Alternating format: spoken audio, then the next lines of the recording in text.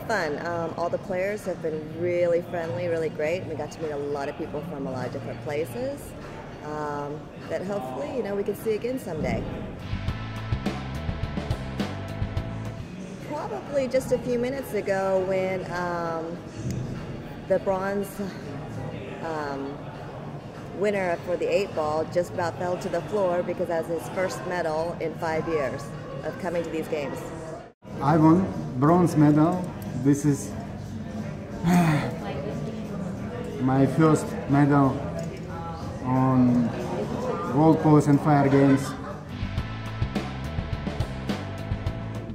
This, game, this is great game, uh, great organization, the best organization. This is my fifth games, and I think the billiard is the closest family this, of these games.